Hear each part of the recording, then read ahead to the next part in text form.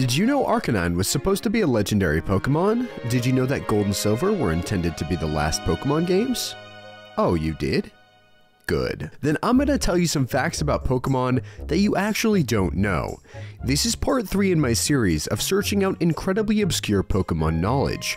As always, the goal of this video is to surprise and intrigue even the most experienced Pokemon fans, and let me know in the comments if you knew any of these. But without any delay, my name is Blue Boy Phin, and let's get right into this. In the year 2000, a virtual pet Pokemon device was released in the US called the Pokemon Pikachu GS. It was a little device that tracked your steps and allowed you to send items to Pokemon Gold and Silver. But about a year later, when the game Animal Crossing released for the GameCube, the Pokemon Pikachu GS made it into the game as a possible item for your villagers to request. A pretty awesome Easter egg. Sadly, you can't obtain it yourself though. On November 1st, 2015, a discovery was made in Pokemon Red and Blue that changed speedrunning that category forever. By walking over to the bike shop in Cerulean City and talking to the teller and pressing B right as the teller says, It's a cool bike, do you want it? It will activate instant text, meaning every time you talk to an NPC, even in battle, your text speed will not be any of the usual settings like fast, medium, or slow, but completely instantaneous. They eventually had to create an entire new category in Pokemon Pokemon Red and Blue speedrunning because it was debatable whether this was defined as a glitch or not. There is one Pokemon in the world that learns a move when it evolves, but is simultaneously incapable of learning that move, and that Pokemon is Meltan. This is because it is coded to learn the move Thunder Punch in any main series game it's in, but it's actually impossible to evolve in any core games. The only way to evolve Meltan is through the use of Pokemon Go, where it isn't even capable of learning Thunder Punch at all.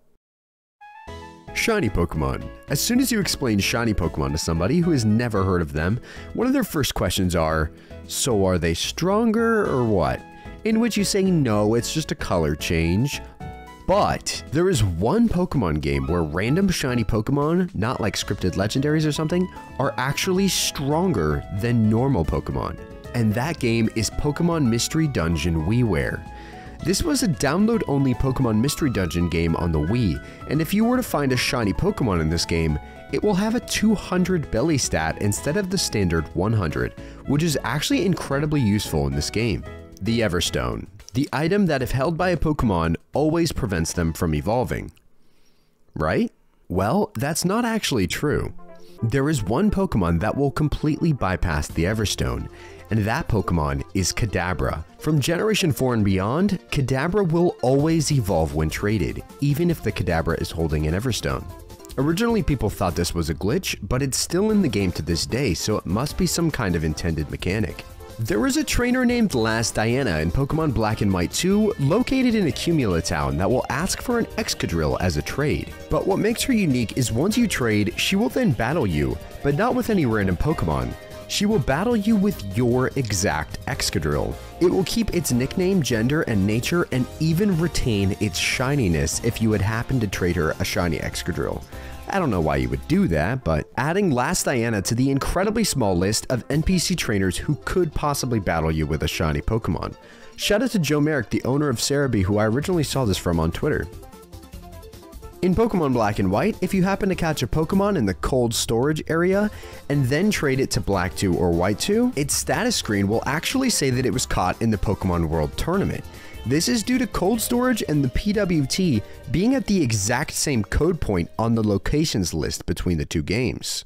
Would you like to know about the most important item in the entire Pokemon universe?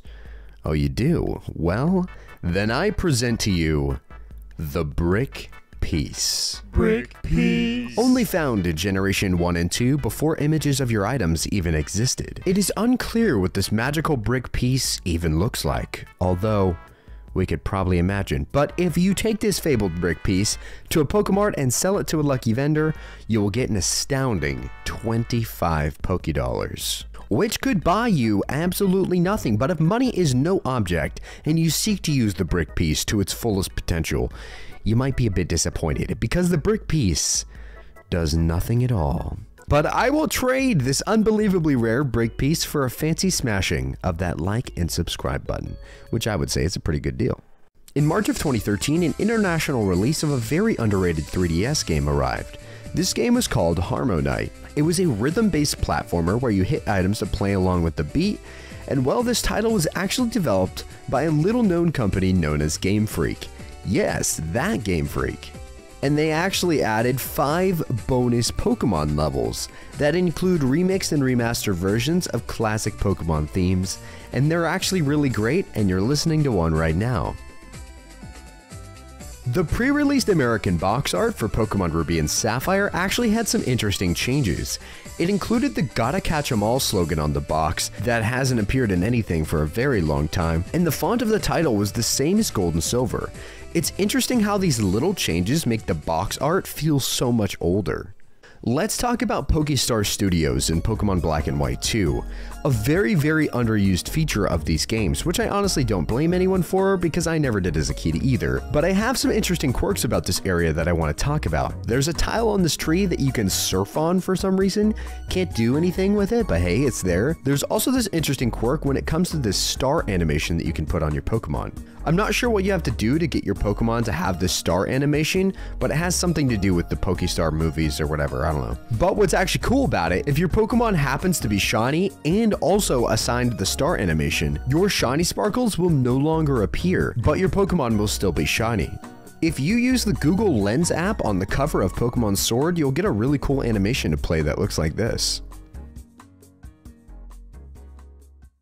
Shout out to Reddit user A and the Lobster who made this observation. Venonat and Venomoth. Remember these guys?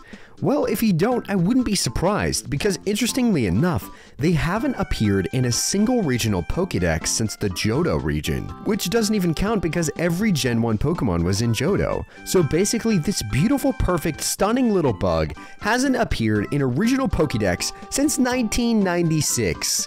Six generations, no Venonat. Why, Game Freak? We need answers. Venonat is perfect. Put him in the games. Let's talk about my favorite Pokemon of all time, Munchlax.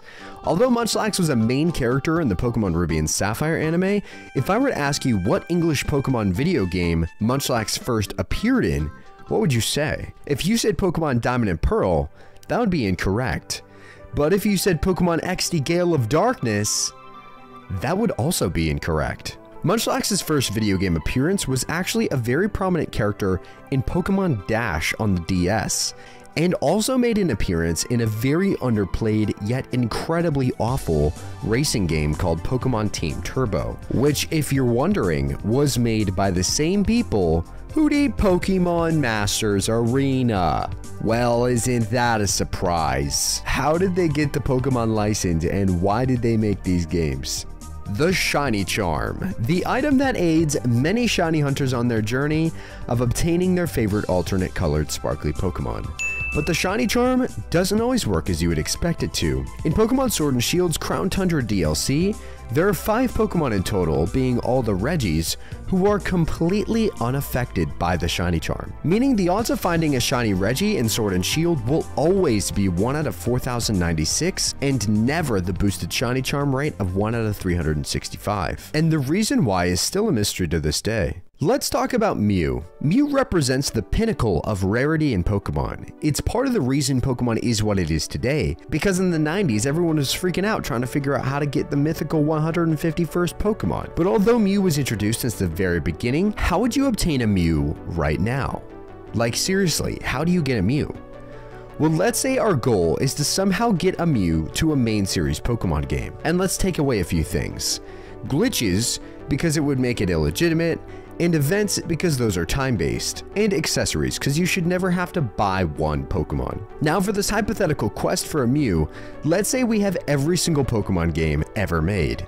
Sheesh, must be nice. Every main series game, every spin-off, every weird pinball game, every ancient mobile game, even you, I guess you can come with. So we have every Pokemon game. Now what? Well, can we get it in Pokemon Red, Blue, Yellow? No. Gold, Silver, Crystal? Nope. Ruby, Sapphire, Emerald? No.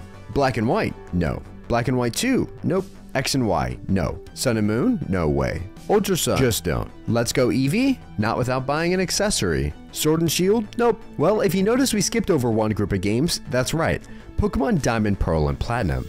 Now, you're probably thinking to yourself, there's no way I remember playing these games and never finding a Mew. And you'd be right. The way we actually obtain Mew is through a different game entirely called Pokemon Ranch for the Wii. Pokemon Ranch is a digital only Wii game designed as a hub to transfer your Pokemon to and from Generation 4 and keep them on a ranch, I guess. And on this ranch lies the most important NPC in the history of Mew hunting Hayley. But she won't just give it to you. Oh my god, she won't just give it to you. You're gonna have to get your hands dirty.